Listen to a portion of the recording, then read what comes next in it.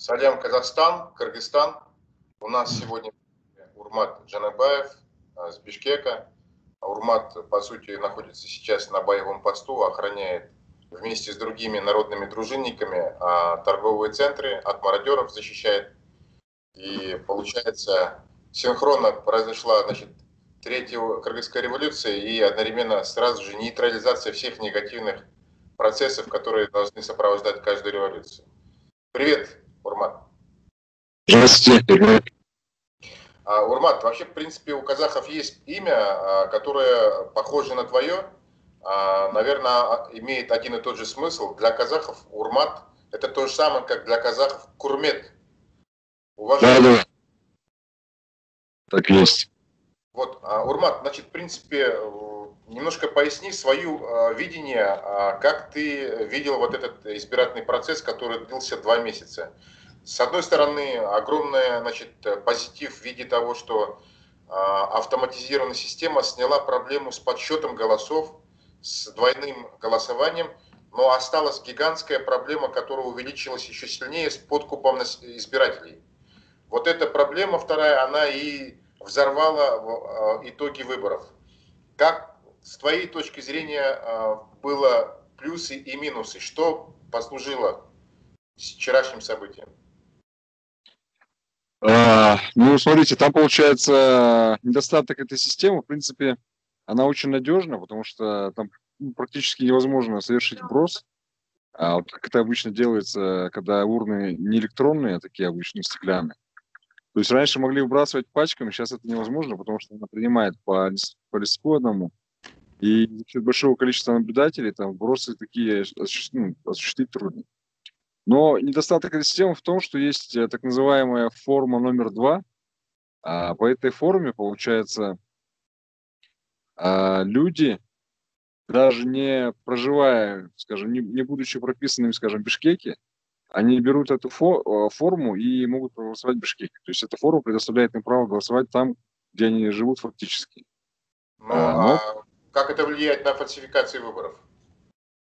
Фальсификация выборов – это, ну, грубо говоря, человек, э, продавший свой голос, они, как правило, в форме номер два. А, ну, во-первых, получается, в целом, за счет этой формы покупали избиратели, которые, как правило, не ходят на выборы, но это очень большая прослойка. И, соответственно, если ты голосовал по форме номер, номер два, то процентов практически на 100 это было э, доказательством того, что ты продал свой голос. Ну, юридически это же недоказуемо. Да, это недоказуемо, но это было э, многие вещи, которые недоказуемы юридически, фактически они как бы доказуемы, потому что это э, все происходило на наших глазах, были массовые подвозы, э, люди, которые, скажем, голосовали за провластные партии, они были э, в масках э, с такой меткой на маске. Это говорило о том, что то есть э, сотрудник э, избирательной комиссии, он понимал, что этот человек продал свой голос, это был таким, как сказать, такой э, меткой, да, и соответственно этому человеку выдавали бюллетень уже с проставленной галочкой. То есть он они как бы перестраховывались, и тем самым человек уже не мог, скажем, э, поставить а галочку. Есть какие-то видео, которые, в принципе, это все зафиксировали, а, все вот эти подкупы? Да, видео очень много, просто колоссальное там количество. Вот я, например, просил э, своих подписчиков скидывать мне видео, а, ну, подвозов, а, каких-то фальсификаций, то есть э, того, как люди снимают это все на фотографию.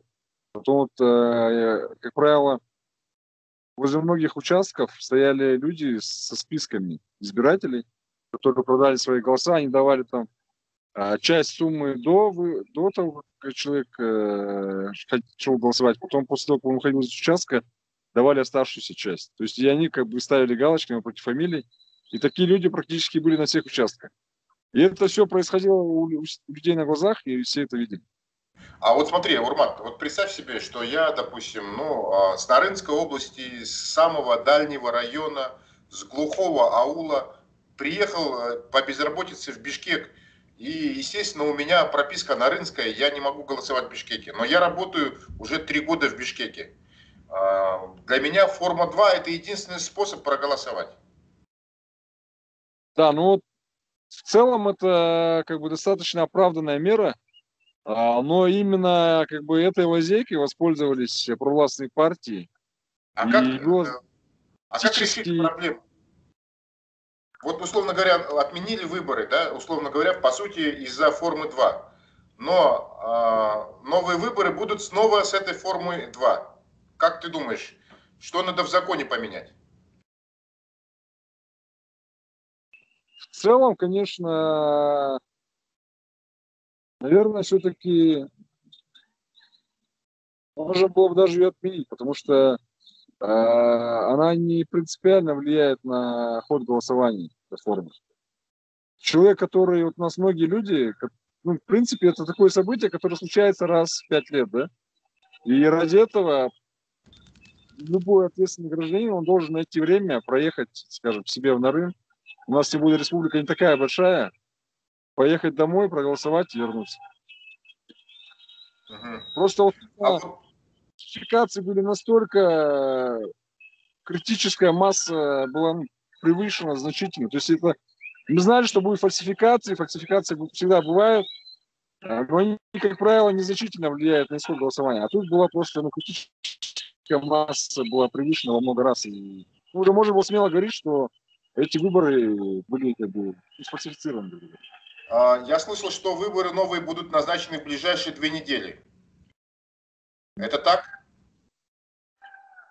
А, насчет этого я, честно говоря, еще не в курсе. Вот мы сейчас, сейчас нам не до этого. Сейчас мы, я даже, честно говоря, так редко захожу в соцсети, а, не отслеживаю практически новости, потому что наша основная задача сейчас отстоять Бишкек, чтобы не было нигде ни мародерств, ни актов. А какие-то магазины уже грабили? Вот слава богу, знаете, просто эта революция, она отличалась от предыдущих тем, что в ней участвовало очень много городских ребят. А, то есть, как правило, бишкекчане, они всегда оставались в стороне. А, когда вот были предыдущие две революции, скажем, при Акаеве, в основном это были те люди, которые приехали с южных регионов. И, соответственно, как балконские стояли, вот у нас как бы городских называют еще балконскими. Но это люди, которые как-то имеют напрямую отношение к балкону. Это не, не люди, которые живут в частных домах, а вот именно в квартирах. Поэтому городских нас называют балконскими. Балконские, они всегда наблюдали за революцией. То есть их не надо путать, э, значит, с графом Балконским, который был на Бородино? Нет, нет. Там взаимосвязано. Поэтому... А вторая революция, это получается наоборот. Э, приехали с северных регионов, там в основном при, э, снесли Бакиева, и Балконские опять остались в стороне, да? А, а тут получается, вот я, например, когда мы свергали вчера Э, Джеймбекова. И, ну, получается, там еще у нас есть как бы такой серый кардинал в Кыргызстане был, это Райбек Матраимов, это таможенник, миллиардер, да? да? Вот мы, грубо говоря, ну, получается, Джеймбеков может ставить знак равенства там с этим э, таможенником Матраимовым, да? Когда мы их вчера свергали, было процентов 50 было городских, 100%. Ребят, mm. и а, плюс э, того, что в революции участвовали городские, это люди, как правило, э, если они приезжают с регионов, то ну, это все равно, как сказать, э, сопровождается определенными трудностями. Да? Это доехать до города, там, потом, скажем, ты, городские, они могут сходить домой, покушать и обратно вернуться. Да. А приезжий, он, то есть, если на месте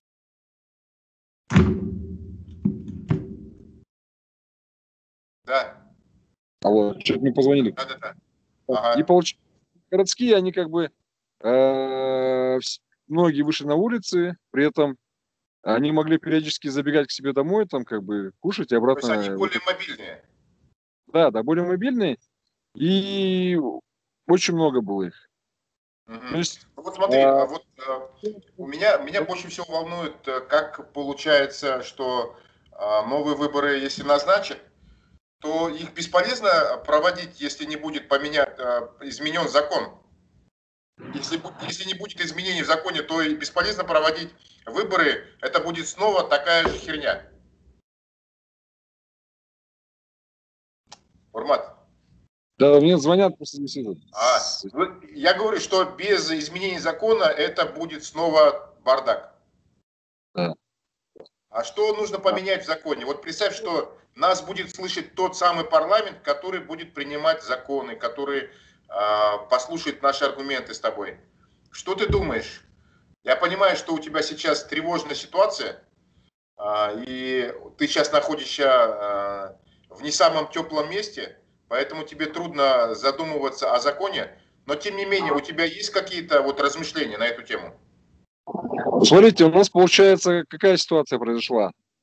А, большинство а, адекватных людей, они выступают вообще за то, чтобы а, первым законопроектом, который должен, должен принять парламент, как уходящий, так и, может быть, э, приходящий, это закон о иллюстрации. То есть, чтобы все люди, которые до этого находились во власти, они не имели права больше баллотироваться и вообще принимать э, участие, как бы занимать государственные должности. А, но получается так, что опять, как всегда, ну, сейчас плодами революции пытаются воспользоваться те же самые старые политики. А, вот мы сегодня с утра наблюдали очень смешную картину. А, там, получается, партии объединялись там по три, по четыре, по пять и объявляли там, скажем, а, генпрокурора своим, да, то есть они ставили своего человека и говорили, генпро... типа генпрокуратура наша. А, там кто-то говорит мэрия наша, кто-то говорит там э, ГКНБ наша. То есть это такая как бы царь горы у нас игра получается, да, кто как бы э, забрался на гору, тот как бы и, самый крутой, а ну а этом, кто первым занял здание, тот и министр. Да, но при этом э, на это здание э, для того, чтобы сместить э, того, кто за, занял это здание, собираются такие силы и, естественно, штурмуют здание, чтобы отбить как бы у предыдущих хозяев, ну, в кавычках хозяев, да. И мы за всем этим наблюдаем, и борьба такая ведется в основном между старыми политиками. Ну вот смотри, а, сейчас я увидел такую вещь, что Садр Жапаров из партии Барбол, Абдельдаев Мухтабек, они с одной партией занимают э, официально посты премьер-министра, исполняющие обязанности, и председателя парламента. Жоғары Кенеша. Получается, 16 партий, получается, в стороне остаются. Эта партия официально не получила ни одного а, как бы мандата депутатского по, по этим выборам. Но почему-то она присвоила себе и парламент, и, и правительство. А, что творится на самом деле, непонятно. А, ну, это, знаете, это произошло из-за того, что очень много сторонников Садыра Джапарова приехало в город, и они вот как бы своим присутствием оказывают давление вообще на все, что происходит в стране. И, ну, и при этом как бы просто никто не хочет сейчас с ними ссориться. Ну и как, как сказать вам?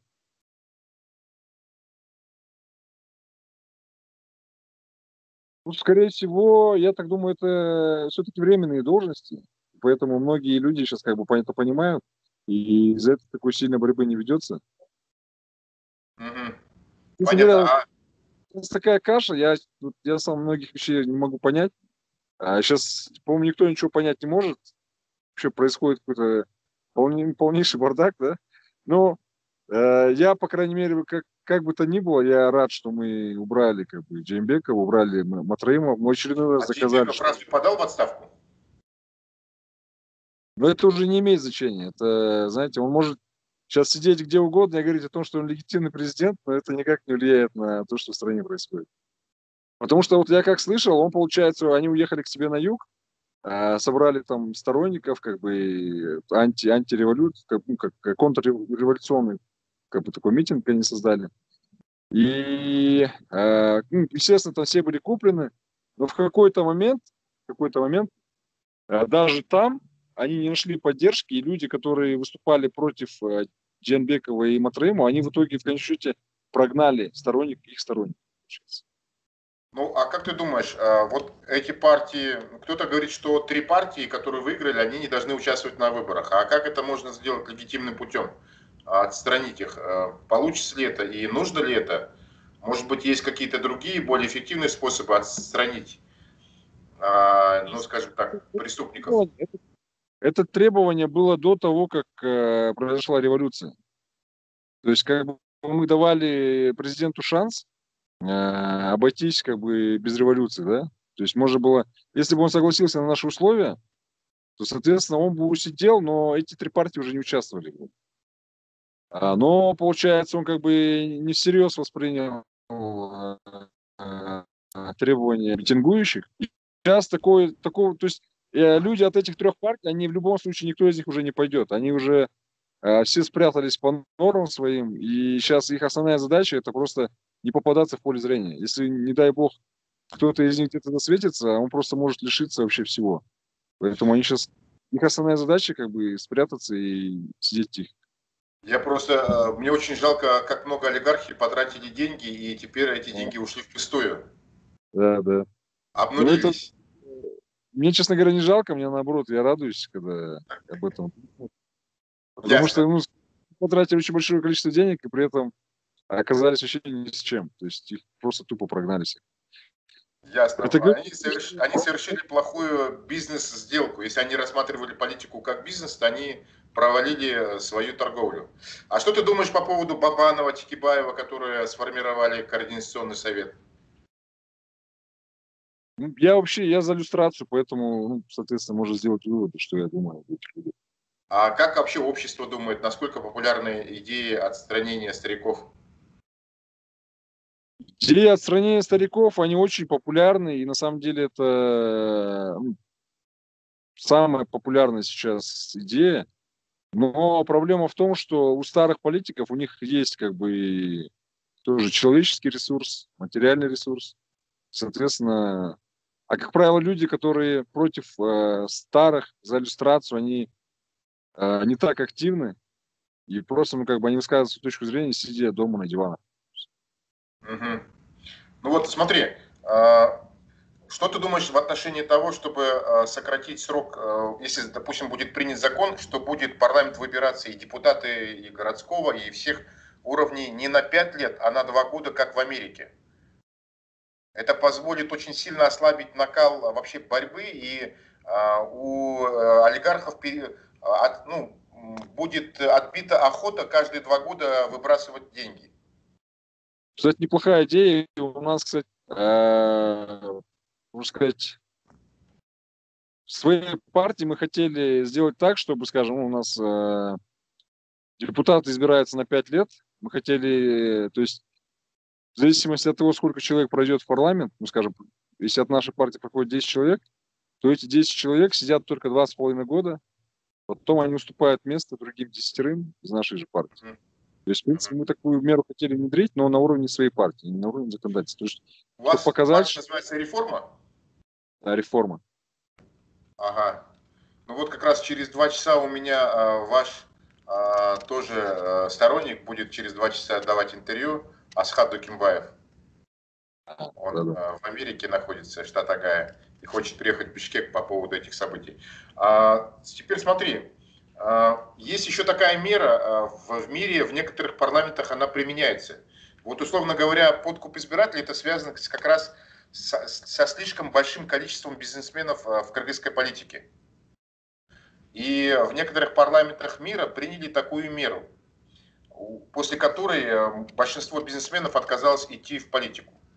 А, закон, по которому депутат, который выиграл выборы и должен стать депутатом, он должен до того, как получит депутатское удостоверение, должен продать с открытого прозрачного аукциона свои коммерческие активы. И получается, э, при вступлении в должность он уже не бизнесмен, и он не может лоббировать никакие коммерческие интересы, потому что у него нет материального интереса лоббировать. Как тебе Мне такой кажется, закон? Очень классный закон, но его, его, мне кажется, даже если такой закон у нас примут, его в любом случае обойдут, потому что у нас на тех, кто баллотируется, записана, как правило, там какая-нибудь э, старая иномарка, и там, не знаю, ну, как правило, они все бомжи. Без... А в Украине приняли против этого закон интересный, по которому, значит, э, любые там правоохранительные органы, если по, по прослушке, по любым моментам увидят, что он фактически руководит какой, каким-то коммерческим активом, который записан на третье лицо, то по закону Украины этот человек считается хозяином этого бизнеса. То есть, получается, они считают коммерческие активы не то, которые напрямую оформлены на него или на родственников, но и те, которые фактически его являются по, исходя из, из всего материалов, которые есть э, там, управление, звонки, руководство. Ну, то есть, когда неделями он звонит и дает команды директору, фактически это признается, что это его бизнес.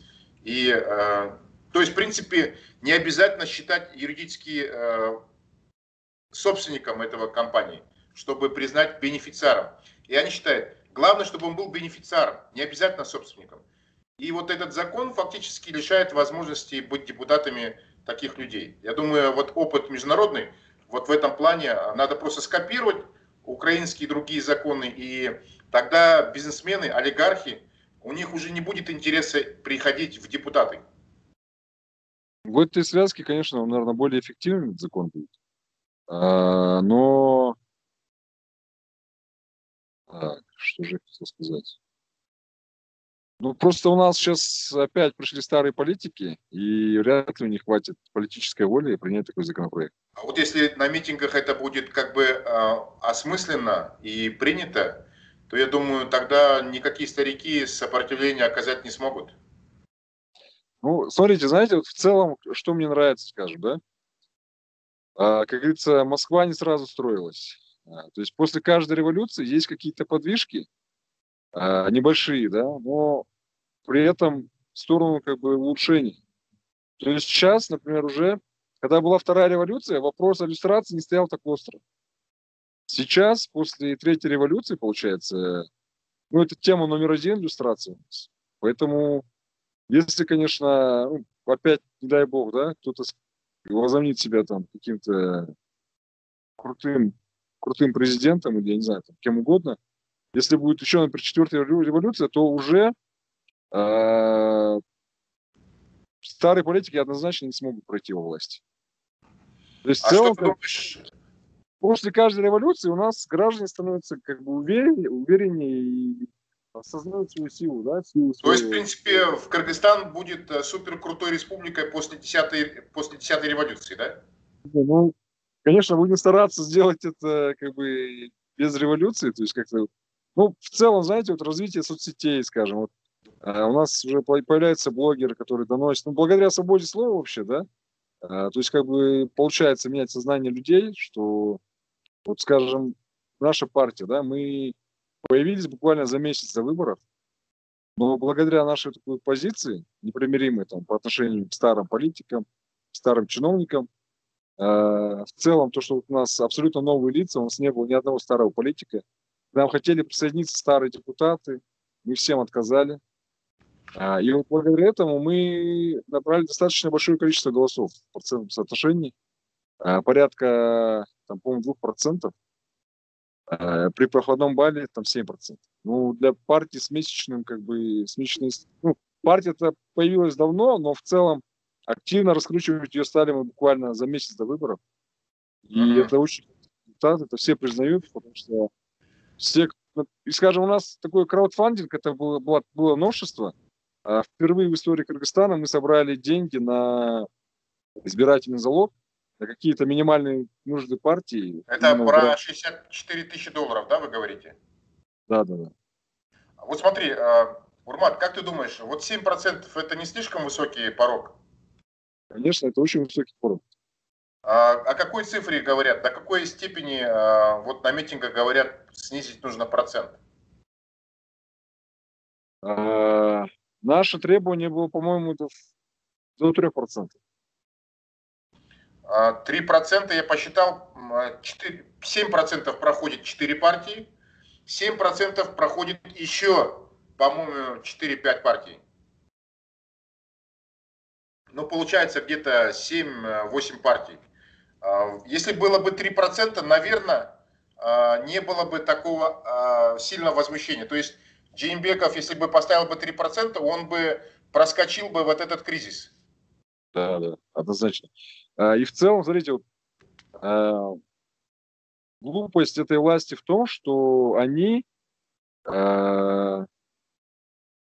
парламент ну, просто наплевав вообще на здравый смысл, протащили с сумасшедшим перевесом свои две партии. даже три партии, скажем.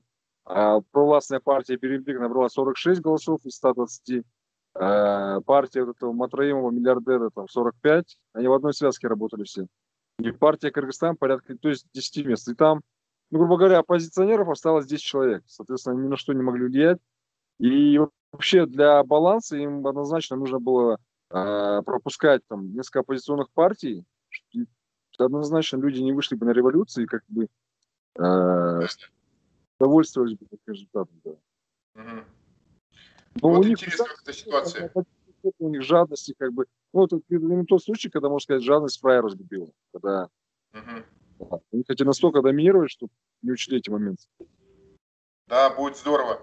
Надеюсь, все будет у вас хорошо. Я надеюсь, э, в ближайшее время мы спокойно уже в кабинете э, осмыслим э, настоящую реформу выборного и конституционного законодательства, чтобы можно было подумать, как сделать так, чтобы политический кризис был преодолен нормально и грамотно и пока белорусы, все восхищения от вас, и украинцы здесь э, все передают привет. Так что, я думаю, Казахстан рядышком с вами, он с надеждой смотрит, надеется, и что в этом году у нас выборы будут. Надеюсь, 10 января, в день голосования, у нас тоже произойдут большие изменения, и мы сейчас сильно воодушевлены э, революцией в Кыргызстане. Берите с нас пример. Мы решаем судьбу президента за одни сутки. Ты видел шутку, да, наверное, там, что э, москвичи просят вас за два часа сделать революцию в Москве, а Кыргыз отвечает, у нас в очереди э, СНГ, э, пол СНГ, поэтому вы пока в очередь вставайте, мы должны сделать всем по очереди. А я еще слышал такую шутку, что, как правило, на постсоветском пространстве ОМОН э, прогоняет митингующих, а в Кыргызстане митингующие прогоняют ОМОНовцев честно. Да. Кстати, Жинбеков сделал большую глупость, что послал ОМОН на разгон митинга на центральной площади. А, смотрите, там какая ситуация была. А, до этого вот у нас бывали такие небольшие митинги, и они в эти митинги как бы внедряли своих провокаторов, которые провоцировали, скажем, столкновение с, с милицией. И, соответственно, как бы количество митингующих из-за того, что было как бы небольшое, а милиции удавалось подавить как бы эти митинги и в целом как бы всех там неугодных как бы, арестовать, ну, там, административные штрафы какие-то. А тут людей было очень много, и, провок... и провок... провокаторы, кстати, были с их стороны. И было большой глупостью э, спровоцировать такую массу людей на провокации, и, соответственно, люди поняли, что как бы их намного, в разы больше, чем милиционеров, и, естественно, никто не убежал, все стояли до конца. Угу.